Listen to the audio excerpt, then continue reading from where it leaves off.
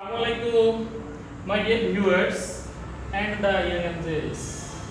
You are welcome back to the new lessons poetry, poetry couple. At this very moment, I want to discuss in front of you the theme of love and friendship. Yeah, all of you know love and friendship is based on the theme of modernism. That means, what is the human life in this modern world? We know very well in the ultra modern world, the people are very fake, they are very cruel, they are very mortal, and the theme is based on those words. Okay, come to the point. Love and Friendship is absolutely a lyric poem which is written by the world's most dramatist William Shakespeare. Poem has been taken from the drama As You Like It. Yeah, As You Like It William শেক্সপিয়ারের একটি বিখ্যাত নাটক। সেই নাটক থেকে এই lyric বা গীতি কবিতাটি চয়ন করা হয়েছে। আমি এখন তোমাদের সামনে কবিতাটি থেকে যে ছয়টি লাইন মোস্ট ইম্পর্টেন্ট তা প্রথমে রিড আউট করব। অতঃপর আমরা কবিতার থিমটা বোঝার চেষ্টা করব। So let's have look blow blow, দাও উইন্টার উইন্ড প্রবাহিত হও প্রবাহিত হও, তুমি শীতের বায়ু। দাও আর নো সো কাইন্ড দাও আর নট সো কাইন্ড যদিও তোমার কর্ম ততটা ভালো নয়, কল্যাণকর নয়। অ্যাজ ম্যান ইজ ইনগ্র্যাটিটিউড যেখানে মানুষ অকৃতজ্ঞ। প্রবাহিত হও প্রবাহিত হও, তুমি শীতের বায়ু। যদিও তোমার কর্ম অতটা কল্যাণকর নয় যেখানে মানুষ হচ্ছে অকৃতজ্ঞ।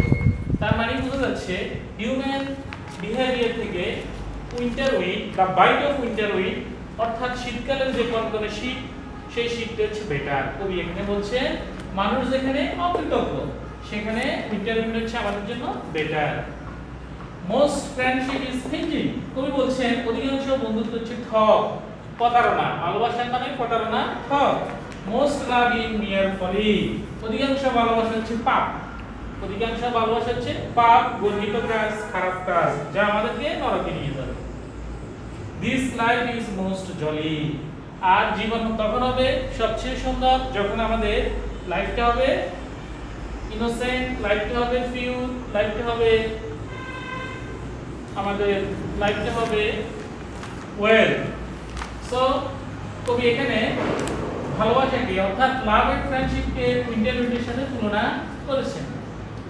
যেখানে মানুষের বিহেভিয়ার বা চরিত্র উইন্ড থেকেও আরও বেশি খারাপ আরও বেশি খারাপ।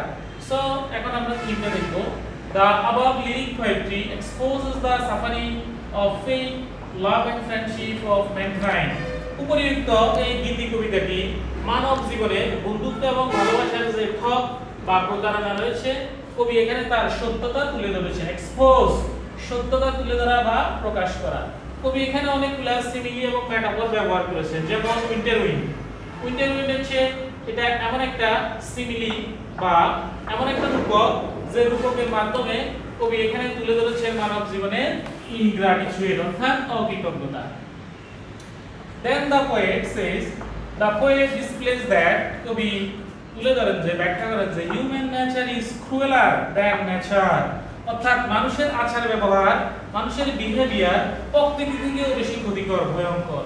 The poet also illustrates that খুবই আরও ব্যাখ্যা করেন যে love and friendship are part and parcel of human life যদিও ভালোবাসা এবং বন্ধুত্ব মানব জীবনের একটি অবিচ্ছেদ্য অংশ, যা একটা আরেকটার সাথে ওতপ্রোতভাবে জড়িত অঙ্গ অঙ্গভাবে জড়িত। So the poet proves that অতএব কবি প্রমাণ করেন যে আ ম্যান ক্যান বিট্রে একজন মানুষ, মনুষ্য জাতি, প্রতারণা করতে পারে ঠকবাজি করতে পারে বাট নেচার ডাজন্ট বিট্রে কিন্তু প্রকৃতি কখনো বিশ্বাসঘাতকতা করে না। একজন মানুষ মানুষের সাথে বিশ্বাসঘাতকতা করতে পারে। এখানে নেচার বলতে আমরা উল্টের উল্টে বুঝে থাকি, এবং আমরা এখানে বিট্রে প্রতারণা করতে আমরা এখানে মনুষ্য জাতিকে বুঝে থাকি। So repeat again The above lyric poetry exposes the suffering of faith, faith, love, and friendship of mankind. The poet displays that human nature is crueler than nature. The poet also illustrates that love and friendship are part and parcel of human life. So the poet finally proves that a man can betray any time with man, but nature doesn't betray. My dear viewers and young adults, I have you, all of you, enjoyed the video a lot. So, at the time of writing the video, you have bear in mind that আমরা theme লেখার সময় কবিতার কোনো line বা পংক্তি বা ছত্র সরাসরি উঠিয়ে দিতে পারব না আমরা কবিতাটা রিয়েলাইজ করে আমাদের মানসপটে একটা থিম অঙ্কন করে নিয়ে আমরা সম্পূর্ণ বাক্যগুলো আমাদের লিপি থেকে চয়ন করতে হবে। এখানে তোমাদের কোশ্চেন হতে পারে হোয়াট ইজ লিরিক লিরিক হচ্ছে গীতি কবিতা।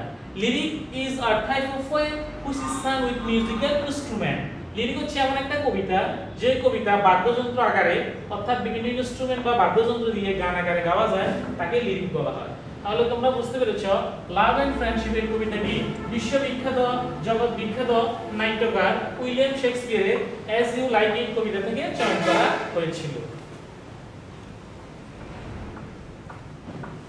Hopefully, all of you enjoyed the video a lot. We are going to meet another new lessons. Till then, take care. Assalamu alaikum wa rahmatullah.